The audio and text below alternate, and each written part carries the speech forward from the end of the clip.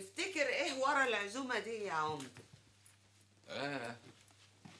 أنا عارف. قول انت بقى؟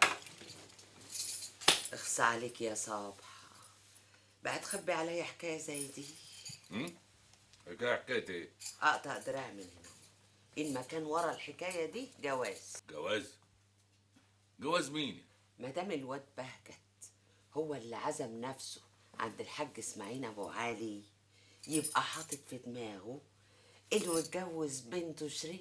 كلام إيه ده يا مسعده معقول ده يحصل من ورانا؟ لا لا لا لا. عارفة لو اللي بتقوليه ده حقيقي كانش الحاج إسماعيل جه لغاية هنا وسألني. آه آه، ما صوب الشاي ما هو يمكن مخبي ومش عايز يقول. آه. ما هو راجل راجل غويط كبير. ولا يمكن الحاج سعيد لسه ما فتحوش في حاجة؟ ده راجل لا يمكن يعمل أيوتها حاجة غير لما يفكر فيها مرة واتنين وتلاتة. طب اسمعي بقى أنا جات لي فكرة. ما تقولي الصبح هتجيلك هنا ها؟ ولما أجيلك بقى إيه دحلي بيها في الكلام ودهلزيها تعرفي منها كل حاجة. صبحة مين يا راجل؟ آه. ما تفوق وتصحى معايا كده. هي صبحة دي بتاعت زمان. صبحة دي دلوقتي مرات الحاج سعيد على سن ورمح. وابنها يا أخويا هيبقى وكيل النيابة. يعني يقدر يوقف الكفر كله على رجل. سلام ليه؟ كان ابنها بجد؟ ما إحنا عارفين البير وغطاه. بقول لك إيه؟ الكلام ده خلاص خلص. ولو خدت واحد واحد في الكفر وقعدت تغنيها له على ربابة محدش هيصدقك. ليه بقى؟ ده أنا العمده اي العمدة على كل واحد في الكفر. لكن على الحاج سعيد لا. وبقولها لك تاني اهو. لا وهفضل اقولها لحد بكرة. دول حافظين مقامه يا راجل أكتر من مقامك. على العموم أنا هروح لصبحة واعرف إيه الحكاية عشان اريحك. وترتاح انت كمان؟ الله مش مصلحتك هي مصلحتي ومصلحتي هي مصلحتك. بقول لك إيه؟ ما تيجي نعزمهم إحنا كمان؟ تعزم مين يا راجل؟ الأول سيبني أجيب قرار صبحة. عندك حق. أنا كمان عايز أجيب قرار اللي في بالي. قال إيه؟ إيه؟ بيسأل الناس إذا كان وأنت مالك أنت؟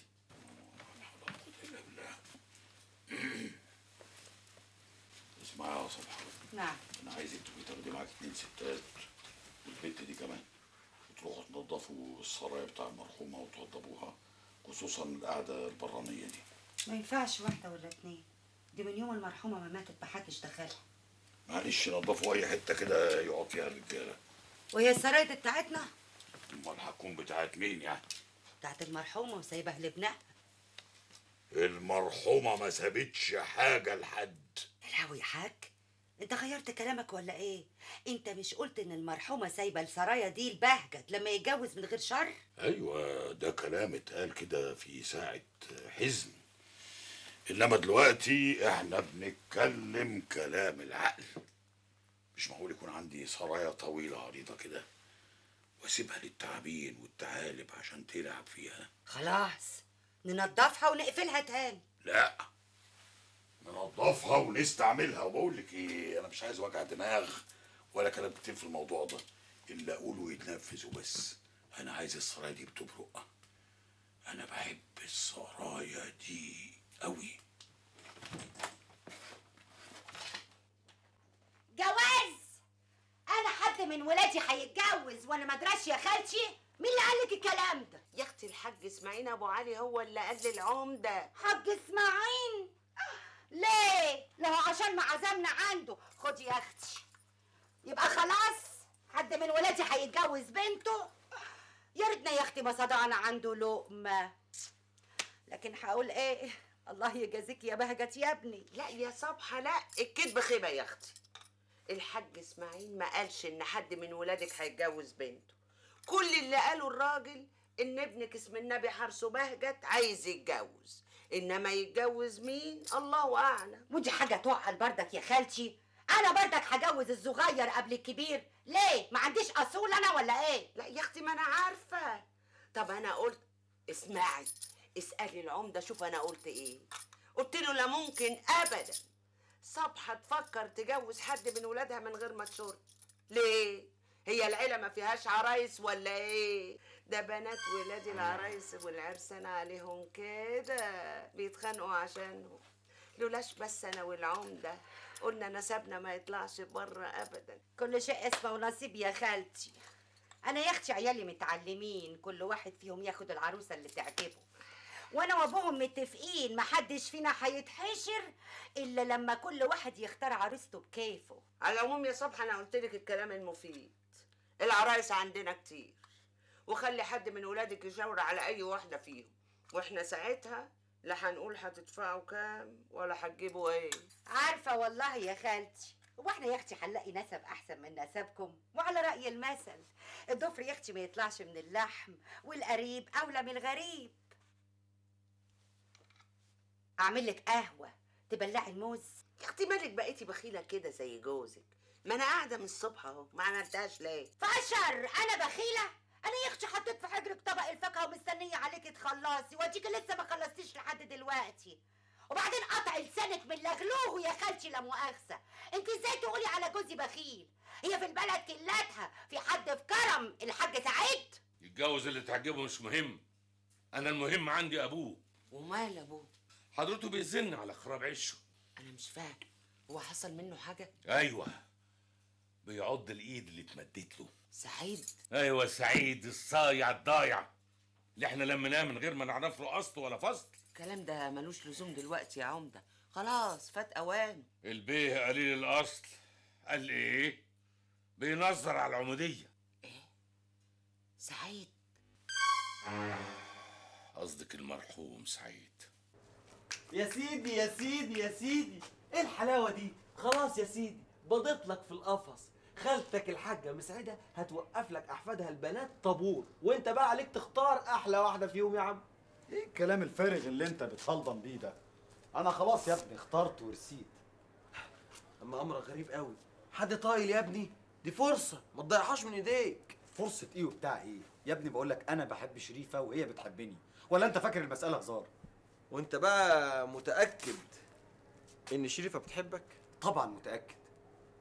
أمال أنا إيه اللي أخرني لغاية دلوقتي عن الجواز؟ أنا كنت مستني اللي أنا بحبها وهي بتحبني. وأحب أقول لك على حاجة بقى علشان أطمنك. شريفة هي اللي شجعتني إن أنا أتقدم لها وأخطبها. والكلام ده بقى من إمتى؟ من حوالي شهرين. شهرين؟ عايز تقولي إنك حبيت شريفة من شهرين بس؟ لا أنا بصراحة بحبها من زمان. بس كنت خايف أكلمها. إيه؟ خايف تكلمها؟ يا ابني إيه اللي أنت بتقوله ده يا ابني؟ في واحد يحب واحدة وخاف يقول لها إن هو بيحبها؟ ما هتعرف إزاي إن هي بتحبك وهي كمان هتعرف إزاي أنت بتحبها؟ اسمح لي أقول لك يا أخ مجدي إنك راجل قفل وقفل مصدي كمان. تصدق بالله اللي أنت بتقوله ده هو العيب والغلط؟ الكلام ده عندكم في مصر هناك؟ إحنا هنا في الأرياف يا سي بهجت وعندنا أصول وقواعد. اللي بتقوله بقى ده هو العيب وعين العيب كمان. ماشي يا سيدي. أنا راجل معيوب لك. حقك عليا. بس خلي في بالك إن أنت عندك فرصة وفرصة ذهبية كمان. كل بنات الع الا صحيح يا مجدي؟ أنتوا بتقولوا هنا للعمدة يا حضرة العمدة ولا يا جناب العمدة؟ بالذمة مش أنت هايف. أنا هايف. ماشي يا سيدي مقبولة منك. بس لازم تبقى عارف إن إحنا في مصر عندنا تقاليد. بنقول للبيه يا صاحب العزة وبنقول للباشا يا صاحب السعادة. إحنا هنا بقى بنقول للعمدة يا عمدة والناس الغلابة بيقولوا له يا حضرة العمدة. فهمت؟ سلامات يا يا عمدة. استنى يا ابني انت استنى.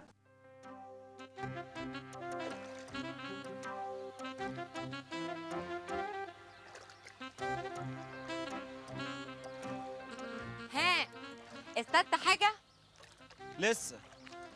يظهر إن مفيش في بلادكم حاجة الواحد يعرف يصطادها. لا ده يظهر عليك إن أنت اللي مش شاطر. طلع السنارة وحط فيها الطعم كويس. وأنت رايحة فين على كده؟ نازلة المركز. أشوف نتيجتي طلعت ولا لسه؟ طب ما ما أجي أوصلك. لا خليك أنت في الصيد أحسن. أنا بتكلم بجد مش بهزر. ما هو ممكن يعني أخوك مجدي يزعل ولا حاجة؟ أخويا مجدي مين؟ سيبك منه تعالي. والله وجبرت يا بيجا يا قوي أيوه يا حاج بس اللي أنت بتفكر فيه ده هيكلفك كتير قوي يكلفني إيه يا فالح؟ يا ولد أنا هبقى العمدة وبيني وبينك. أنا بكره الراجل العمدة أبو طويلة ده قوي أيوه يا حاج بس أنت قبل ما تاخد من الناس لازم تديهم. لازم تدي لهم المعاملة الحسنة.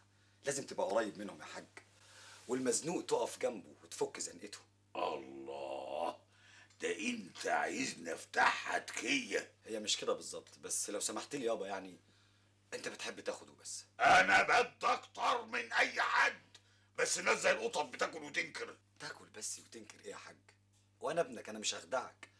تسمح تقول لي انت عملت لهم إيه؟ خلاف الانذارات اللي بتبعتها لأي حد يتأخر في سداد الكمبيالات اللي عليه. بديهم فلوس. بديهم فلوس كتير تفك زنقتهم وأزمتهم. بتدي لهم فلوس لوجه الله يعني يا حاج؟ وهو ليه شوية؟ ولو حد فيهم راح البنك هيعبره وهيطلب ضامن. أنا بديهم وبوفر عليهم المشوار كمان. بس اللي عايز يبقى عمدة صح ما ينفعش يشتغل بنك على أهل بلده. الكلام الفارغ عمدة صح وبنك. معناته إيه كلام الفارغ ده؟ قال؟ معناها يا حاج إنك أنت علشان تكسب الناس لازم تديهم الأول عشان تاخد رضاهم. إيه الهم اللي هيطلع لي في البيت ده؟ ما أنا عشان كده يا حاج بقول لك بلاش فكرة العمودية دي. لا أنا قلت هبقى العمدة يعني هبقى العمدة مهما اتكلفت.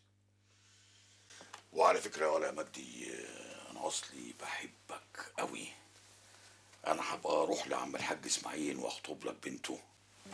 أيوه أصل ده راجل له عزوة وأنا عايزك تجرجره هو وعزوته وراك. تصدقي الواد مجدي أخويا واخد عني فكرة وحشة قوي قال إيه؟ أنا مش بتاع جواز. عنده حق. وعنده حق ليه بقى؟ أصل يعني ما شفتكش أخدت أي خطوة بجد في الموضوع ده لحد دلوقتي. ما أنا بيني وبينك كده أنا مش ناوي آخد أي خطوة جد في الموضوع ده دلوقتي. لسه اما آخد الليسانس بتاعي. طيب آه، على الأقل تخطب. طب أنا إيه اللي يخليني أستعجل؟ أنا آخد الليسانس بتاعي وبعد كده أدور على وظيفة محترمة وبعد كده بقى أبقى أفكر في الجواز براحتي. طب افرض يعني مثلا إنك لقيت واحدة وحبيتها وهي كمان حبيتك قوي. هتفضل بقى مستنياك لحد ما تخلص دراستك وكمان تشتغل. والله إذا كانت بتحبني تستناني لو مش عايزاه هي حر يعني ده آخر كلام عندك؟ وأنا كلامي مش عاجبك ولا حاجة؟ لا بس كلامك ده محتاج شوية تفكير. تفكير؟ والتفكير ده من مين بقى؟ على فكرة أنا اتأخرت قوي ولازم أمشي دلوقتي حالا. إحنا ما لحقنا قصدي يعني ما, ما لسه ما قعدناش مع بعض. انت زهقتي ولا إيه؟ لا بالعكس. انت قعدتك ظريفة قوي. بس أنا خايفة. خايفة؟ خايفة من إيه؟ من حاجات كتير. مفيش هنا حد نحاسبه؟ أنا هخش أدفع الحساب جوه وهرجع عشان نكمل كلام براحتنا.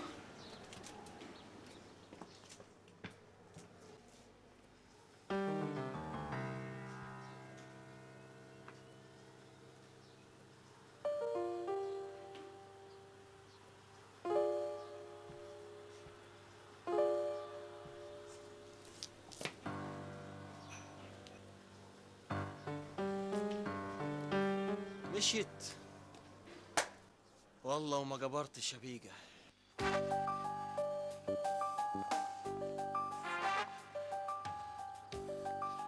شريفة شريفة. كنت فين يا شريفة؟ لو سمحت يا مجدي سيبني دلوقتي خالص. أنا راجعة تعبانة ومش طايقة أتكلم. طب انت ما قلتليش انت عملت إيه؟ شريفة يا نتيجة ظهرت.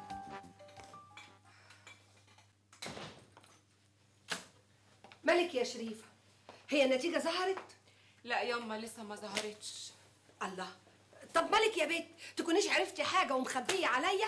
حاجة إيه بس ياما؟ دي اللي أنا هعرفها وأخبيها عنك. الله أمال مالك؟ بوزك شبرين كده وداخلة ساكتة ما بتتكلميش. تكونش النتيجة ظهرت وانت مخبية عليا؟ تكوني سقطتي؟ طب وايه يعني هو انت كنت هتشتغلي بالشهادة يعني ولا هتشتغلي بالشهادة؟ لا يا حبيبتي لا.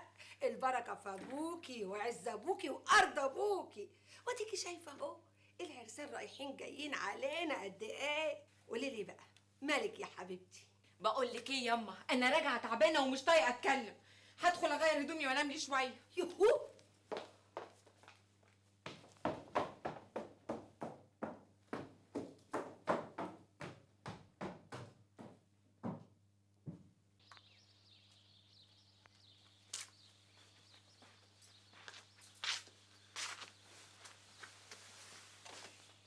يهو سلام انت مالك مكلضم كده ليه مجدي مجدي ارجوك سيبني في حالي. أنا مش ناقصك. مالك يا ابني مبوز ليه كده؟ شريفة النهارده قابلتني مقابلة وحشة جدا. لقيتك مقابلة وحشة جدا؟ وده كان إمتى الكلام ده؟ النهارده كنت راجع من المركز الساعة 2 كنت واقف مستنيها عشان أطمن عليها في النتيجة بتاعتها. ولما حاولت أكلمها لقيتها بتقول لي من فضلك يا مجدي سيبني أنا تعبانة. طب وإيه المشكلة؟ ما تلاقيها فعلا تعبانة. وبعدين واجب عليك برضو يا مجدي إنك تراعي سلو بلدكم ماله سلو بلدنا مش أنت اللي بتقول لي سلو بلدنا بنات مصر غير بنات هنا؟ هنا في عادات وتقاليد. وده دخله إيه؟ دخلوا ان ما ينفعش يا صاحبي إنك تخرج معاها عمال على بطال. الناس يقولوا عليك إيه؟ لازم يا حبيبي تكون خطيبها. حتى خطيبها ما تنفعش. لازم تكون مراتك. تفتكر يا بهجت إن ده السبب؟ هو ده السبب. ولازم بقى تعرف حاجة مهمة جدا. شريفة دي بنت متربية على الآخر وعارفة يعني إيه عادات وتقاليد وأصول.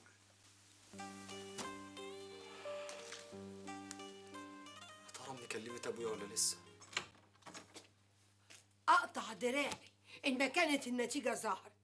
قولي لي يا بت أنت سالتي وبعدين بقى يما أحلف لك بإن النتيجة لسه ما ظهرتش ومعرفش عنها حاجة.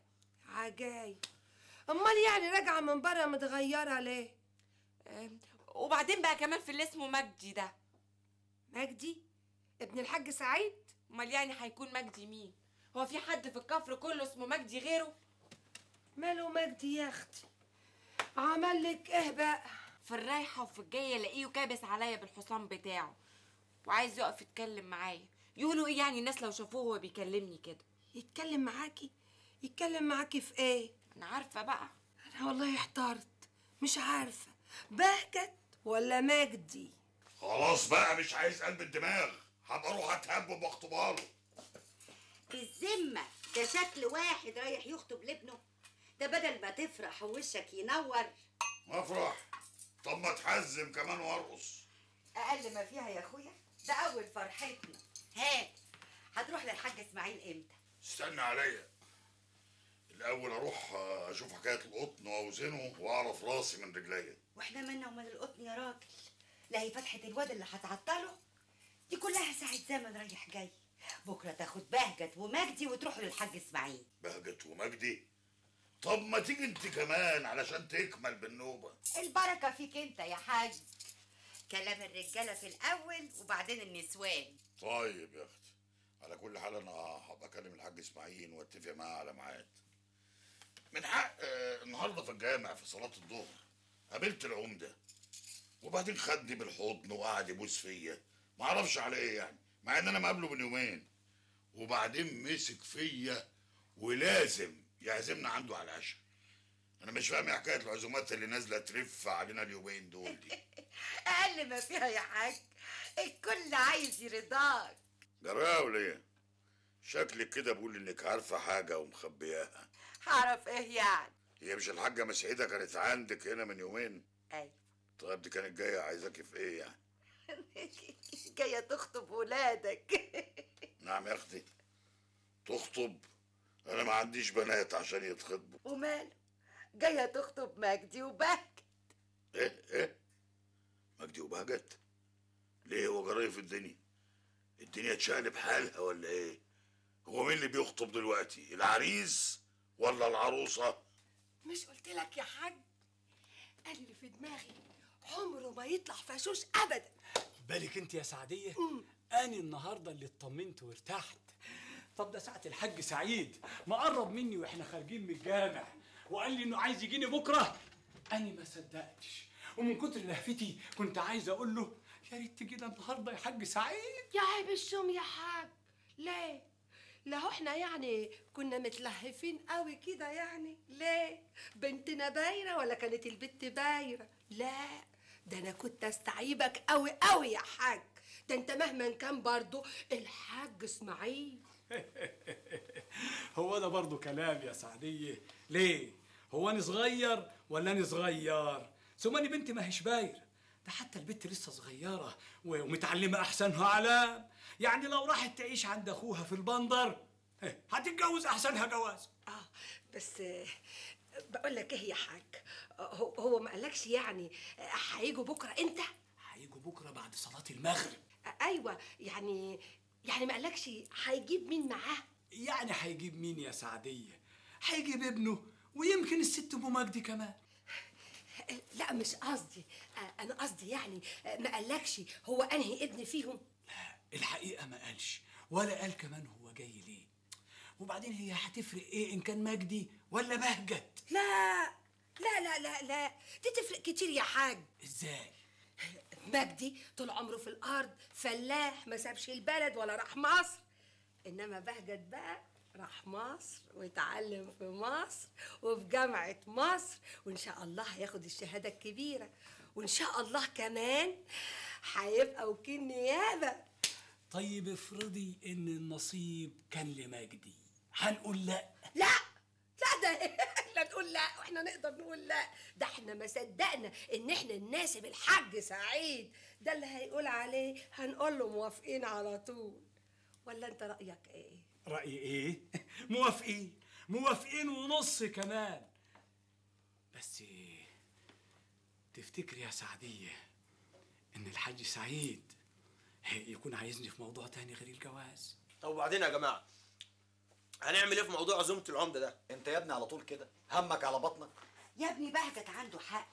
دي تبقى أكبر عيبه ده العمدة وقريبنا. وبعدين يا ولية مش أنت اللي صممت إن إحنا نروح نخطب لابنك؟ طب كنت قلت للحاج اسماعيل إنك هتروح له بعد صلاة الظهر. حد يروح يخطب ويقرا فاتحه في عز الظهر؟ والله ما عندها حق يابا. كنا رحنا اتغدينا عند الحاج اسماعيل ونروح نتعشى عند العمدة. أهو نبقى ضربنا عصفورين بحجر. ولازمته إيه أصلا أروح عند العمدة؟ ما أنتوا عارفين إيه اللي ورا الزيارة دي؟ وبعدين خلاص. أهو نقبه طلع على شغل. أهو أنت كده دايما فقر يا مجدي. هو أنت يعني عشان هتاخد بنت الحاج اسماعيل. طب ما أنا يمكن تعجبني واحدة من عيلة العمدة. هو أنت كمان ناوي تتجوز؟ أنا اخد فكرة. بالذمة بقى ده كلام. انت يا ابني راح تشتري حتة أرض. وماله يا حبيبي؟ خد فكرة زي ما انت عايز. ولو عجبتك واحدة ابقى قول لي انت بس ومالكش دعوة. ده برضك العمدة. قريبنا. وهو زيتنا في دقيقنا. ان جيت تقول الحق أنا أصلح لي أناسب العمدة. أهو راجل عليه الهيبة والقيمة مش زي الحاج أبو إسماعيل. بس بعد إذنك يابا أنا خلاص اخترت شريفة ومش هتجوز غيرها. طيب يا فقري على كل حال أنا عايزك في كلمتين. هقول لك موضوع مهم. إيه انت وهي حاضر يا عمر يلا يلا. يلا وضبوا الأكل وحضروا السفره يلا. وأنت يا بغل يلا بسرعة. إيه ده؟ هتدي السن باين عليك ولا إيه؟ يلا يا وإيه الحكاية؟ الله. إيش اداني الساعة داخلة على 8 ونص وقرايبك بسلامتهم لغاية دلوقتي ما جوش. زمانهم جايين. على الحاج سعيد ما يصلي العشاء ويوضبوا روحهم ويجوا. أنت أكدت عليهم. يا راجل. مش انت اللي عازم الحاج سعيد بنفسك؟ أيوه آه. خلاص يبقوا جايين. هو الحاج سعيد عمره سبع عزومه لكن ما قلتليش إيه؟ انت هتفتحوا النهارده في الموضوع. إيه اللي بتقولي ده؟ الله ده العمدة. اللي الكل عارف إن مقامي عالي. زي أنت عايزانا اصغر نفسي قدام اللي اسمه الحاج سعيد. لا لا يا شيخ لا ده كلام بلاش يا اخويا النفخة الكدابة دي. آه. بلاش تطلع لنا مناخيرك لفوق لحسن الحاج سعيد يحس بيها وما يجاوبكش على كلمة حتى. يا ساتر وعلى رأي المثل إن كان ليك حاجة عند الكلب قول له يا سيدي ما بالك بقى ده اسمه الحاج سعيد. يعني عايزاني أعمل إيه؟ أحب على إيده؟ أقول له من فضلك يا حاج سعيد خلي عيل من عيالك يتجوز واحدة من بنات بناتي. محدش يا راجل قال لك تعمل كده. ما أنا عايزاني أعمل إيه إيه ده إيه ده وايه الزغاريد دي منين؟ الزغاريد دي. زغاريد؟ لا! ودي معقولة ودي تيجي يا حاج. إحنا لازم نتعشى الليلة دي مع بعض. معلش يا فينا يا ست أم علي. أصل العمدة عازمنا الليلة عنده على العشاء. بقى ده كلام يا حاج سعيد. حد يسيب ليلة حلوة زي دي هنتعشى فيها ويروح يتعشى عند العمدة؟ لا لا لا دي تبقى عيبة كبيرة قوي ولا عيبة ولا حاجة. أنا أصلي أخاف لاحسن العمدة برضه ياخد على خاطره. ولا هياخد على خاطره ولا حاجة. هو لما يعرف اللي هيحصل مش هيزعل. وبعدين بقى دي العروسة هي اللي طبخة الأكل كله الليلة دي. الله الله الله الله الله. العروسة اللي طابخه إيه رايكم يا أولاد؟ خلاص بقى يابا. ولا أنت عايز الحاج إسماعيل يزعل منك؟ اتكلم يا باكر آه، صحيح يا بابا برضو يعني. وبعدين دي العروسة اللي طبخه الاكل كله النهارده. بقول لك إيه؟ زحلق العمده النهارده زحلق إيه؟ زحلقوا؟ زحلق له زحلقوا دي إيه انت هتغلب يعني يا بابا. قول له اللي سبق كل النبأ. الكلام ده صحيح يا ولا؟ الا صحيح يا حضرة العمدة. ده أنا رحت بنفسي لحد دار الحاج إسماعيل والست أم علي سقتني كوبايه الشربات. تعرف يا حضرة العمدة لسه حلاوتها هنا في حنكي. امم طب غرقك نيل شربت شربات كمان؟ جدايه في اللي عمل غفير. ما حضرتك يا حضرة العمدة اللي عملت لي غفير. جاري أنا. حاضر. حاضر هروح شفت يا ستي؟ شفت قرايبك يا هانم؟ هما صحيح طلعوا قلالات الاصل مم. بس أنا أنا مش عارفة ليه الحاج سعيد قرش ملحتك كده؟ وليه يا أخويا قلبه مش صافي ناحيتك بالشكل ده؟ هو أنت عملت فيه إيه؟ ما هو يمكن شايل مني من يوم حكاية جوازه بالمرحومه زينات؟ طب وانت مالك انت؟ نسا لما صبحه جت هنا وقعدت تشكي وتولول. ساعتها قلت لك مالناش دعوة. انت اتحماتي قلت لها إزاي؟ صبحة من دمنا ومن لحمنا. آه عندك حق. وهم في الآخر بقت زينات الله يرحمها وهي سمنة على عسل. وإحنا اللي بقينا عدوين. هم؟ على رأي المثل ما ينوب المخلص إلا تقطيع هدومه.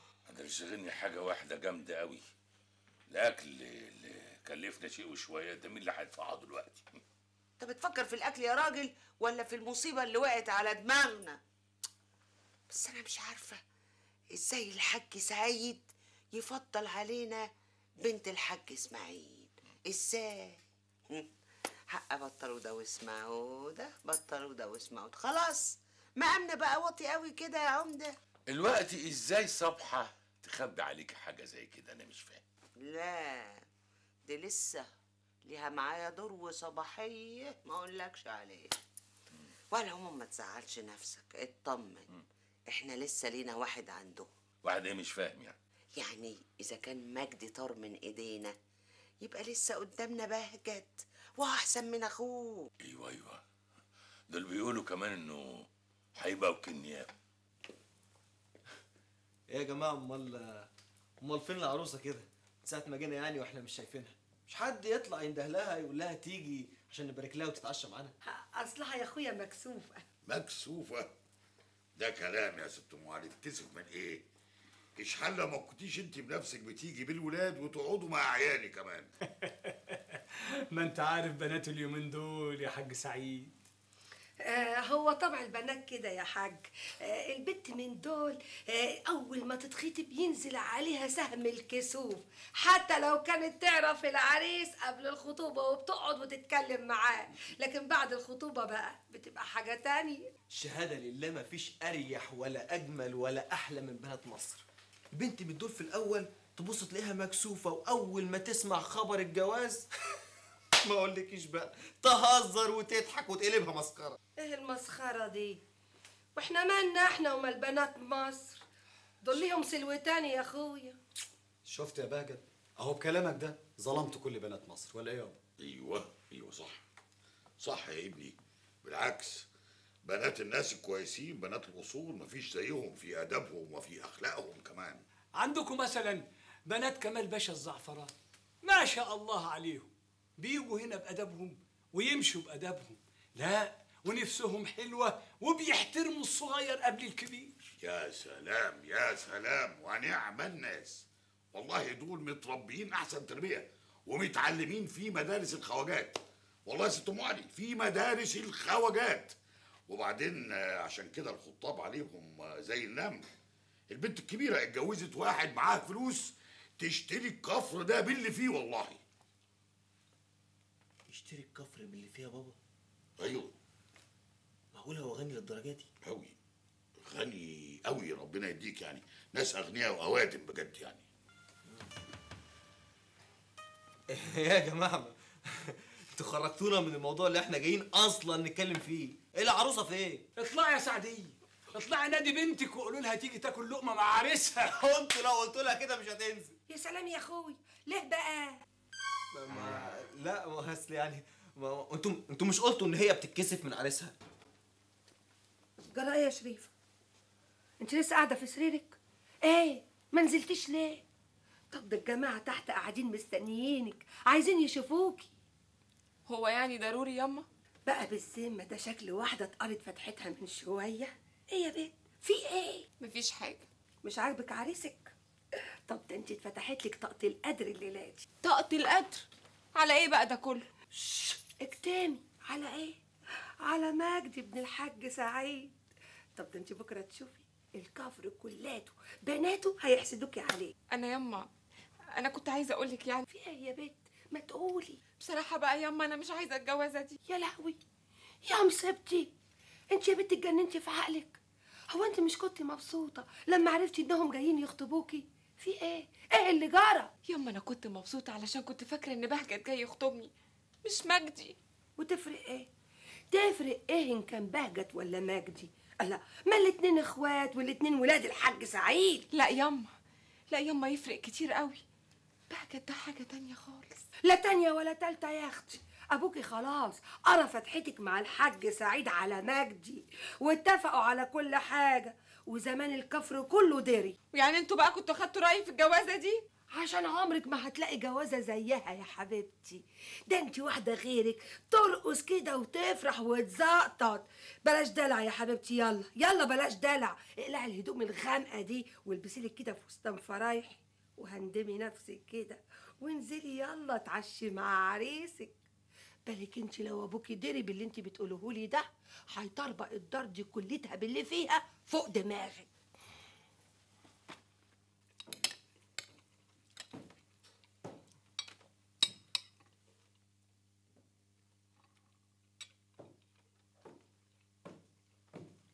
الله الله الله أهلا بنتنا وعروستنا الجميلة. مش تقعدي يا بنتي معانا علشان تتعشي ولا إيه؟ لا يا حاج ما تقعدش معانا بقى تقعد مع عريسها. أي والله عندك حق. طب يا بنتي اقعدي جنب عريسك. أنا عارف إيه الكسوف اللي نازل عليها دي. اقعدي يا شريف اقعدي يا حبيبتي جنب عريسك.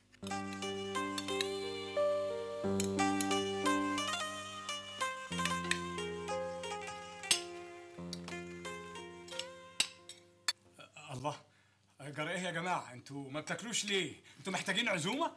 قال إيه يا مجدي يا حبيبي؟ ما بتاكلش ليه يا أخويا؟ كل كل. أنت مكسوف؟ دلوقتي مجدي بيتكسف وقبل كده شوية بتتكسف. مش ناقص غير أنا بس اللي اتكسف وما أكلش. جاتك إيه يا بهجت افندي الشهادة لله القعدة معاك كلها ضحك وفرفشة. والله ما أنا عارف. الولا بقى كان بيجيب الشقاوة دي كلها منين؟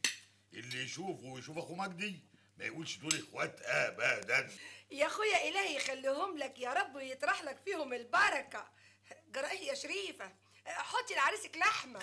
يعني عليك يا بهجت ما أنت لو عريس كان الأكل قدامك بقد كده. ده أنت الخير والبركة يا حبيبي. معقولة؟ خد كل كل. تحرمش منك يا حمات أخويا. طب إيه رأيك بقى؟ أنا لو كان عندي بنت تانية ما كنتش هسيبها تتجوز غيرك ابدا يا حضرة الوكيل. ولا إيه يا أم علي؟ القول قولك يا حاج. يا جماعة أنتوا عاملين تمدحوا فيا تمدحوا فيا. زي ما كنا أنا لوحدي اللي قاعد على الترابيزة. ما تدوا شوية للعريس. يا اخويا العريس خلاص ربنا كرمه ولقى عروسة. الجدعن أنت. وشوف لك عروسة حلوة زي عروسه أخوك كده.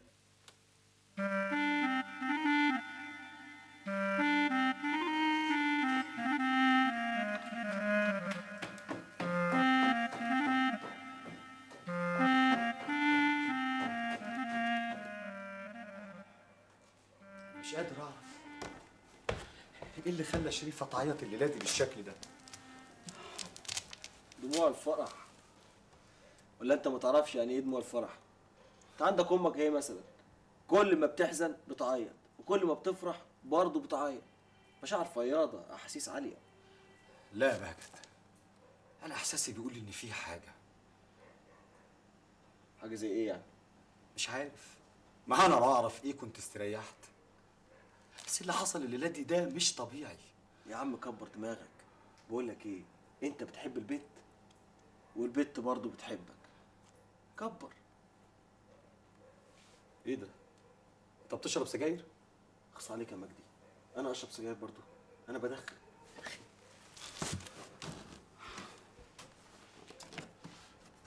أنا لو أعرف بس إيه اللي خلاها تعيط؟ كنت استريحت. حاجة غريبة. تكونش البنت مش رايدة الواد وأبوها وأمها غصبوا عليها؟ غصبوا عليه إيه؟ هي يا ولية كانت هتلاقي واحد زي الواد مجدي ده كفاية إنه ابن سعيد الزواني. كله الا كده القلب وما يريد وكنوز الدنيا ما تخليش الواحدة تحب واحد ما هياش رايداه. أو ده كلام فارغ. يا ولية المهم الفلوس إيه الفلوس؟ يعني أنا زمان لما جم يجوزوك ليا لو كنت عرفت إن أنا معيش فلوس كنت هتوافقي؟ طب والنبي كنت حوافق ده أنا أول ما شفتك قلبي كده رفرف زي الحمامة مع إنك وريتني أيام أسود من قرن الخروب لكن على قلبي زي العسل. يا سبحان الله. ده إيه الكلام ال- الاهطل أوي ده؟ أنت بتجيبي الكلام ده منين يا وليه طب تصدق والنبي لو سألوني تاني عايزة تتجوزي مين؟ هقول أنت. هو أنا هلاقي راجل غيرك يا لهوي يا سعيد! ده أنا كنت بغير عليك غيرة بغير عليك من نسوان الكفر كلاتهم. أنا نفسي كده أعرف بس الكلام الملاوع الحلو الجديد ده. انت جايبها منين؟ من الغناوي. شوية كده من من غنوة الست أم كلثوم على على الست ليلى مراد. وهي بتقول الست أم كلثوم كانت بتقول أهل الهوى يا يا ليل فاتوا مضجعهم يا وليه انت اللي بتعملي؟ إيه؟ ده انت ناقص تتحزمي وترقصي. طب وماله يا أخويا؟ مش راجلي؟ لو عايز نرقص لك هرقص لك. يا وليه احترمي نفسك. ولادك بدأوا يتجوزوا يعني شوية والعيال هيقولوا لك يا ستي وهتبقى جدة. وماله يا أخويا؟ القلب لسه شباب. شباب؟ آه. شباب الهم. طب قفلي قفلي على السيرة دي. تريتح بقى؟ السيرة الهباب اللي في دماغي. تفتكري ان البت دي. ما هيش عايزة الواد مجدي فعلا. أيوه أيوه. أيوه إيه يا بنت معناته إيه الكلام اللي أنت بتقوليه ده؟ هو أنت ياما مستقلتيني أنا بقى بقول لك الحقيقة. وأنا لو شايفة في مجدي عيب كنت استريح. ياما مجدي ما فيهوش عيب. لكن بصراحة كده أنا كنت فاكرة إن بهجت هو اللي هيجي يخطب. أنا كمان كنت فاكرة كده. لكن رجعت وقلت في نفسي تفرق إيه؟ بهجت أخو مجدي ومجدي أخو بهجت والاتنين ولاد الحاج سعيد. طب بالك انت؟ ده حتى مجدي كده عاقل وراسي وفاهم كل حاجة. ده حتى أبوه شغاله معاه في الأرض عشان كده.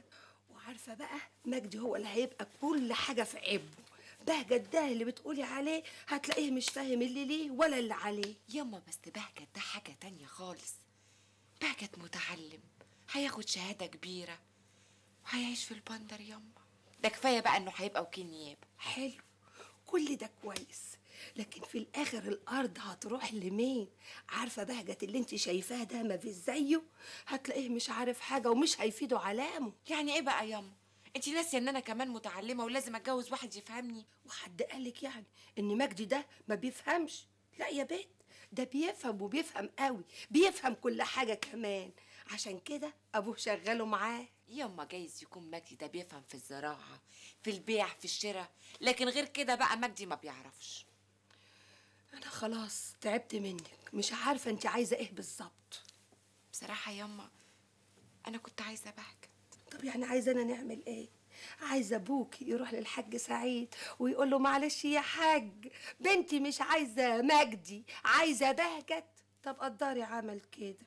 وجه بقى بهجت ده مرضيش بيك. لا ياما حيرت. جرى إيه يا بنت. إيه اللي معشمك قوي كده.